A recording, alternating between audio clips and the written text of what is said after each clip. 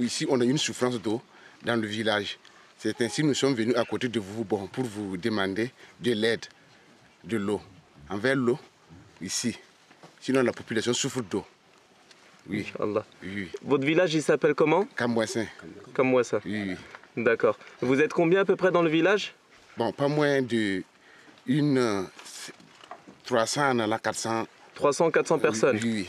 D'accord. Et là, vous faites, euh, le, le- là où vous allez chercher de l'eau, c'est à combien de kilomètres Trois, d'autres même pour, pour, n'avoir- pour ne pas avoir de souffrance envers l'eau, d'autres même pas environ 5 km. 5 kilomètres. Oui, oui, D'accord. oui. D'accord. Inch'Allah, on, on rentre en France et on va essayer de faire le nécessaire, Inch'Allah. Bon, sinon nous sommes sous vos mains.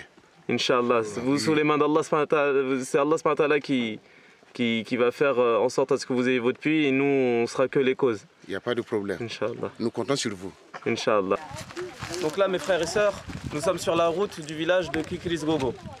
Donc sur la route, ils ont eu tout un village s'est réuni. Ils savaient qu'on allait passer par ici et ils nous ont sollicité de l'eau. Donc vous voyez euh, le- le- l'engouement qu'ils ont à demander de l'eau, subhanallah. Ça fait presque 27 ans qu'ils n'ont pas d'eau dans ce, coin-là. Donc euh, on va, on va faire le nécessaire afin que dans notre prochain voyage, ils aient un puits.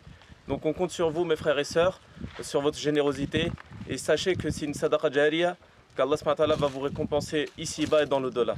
Barakallahu fikum.